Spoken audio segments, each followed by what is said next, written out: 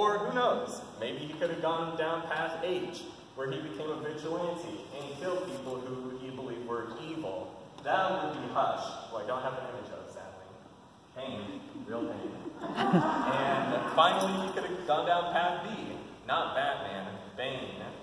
Bane believes in strength and values it more than anything else, and that path definitely could have gone to Bruce. But we all know that Batman didn't go down these paths, and which is why it's interesting to see how these characters, how this character could have gone down a path of violence, but he didn't. And it's really interesting to see this dichotomy between him and all these villains. Another quick example of a reflectionist would have to be your boy, Naruto.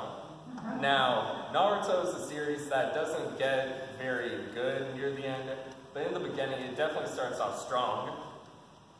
One of the main contributing factors to it would have to be the villain known as Gaara, aka Sandman with red hair.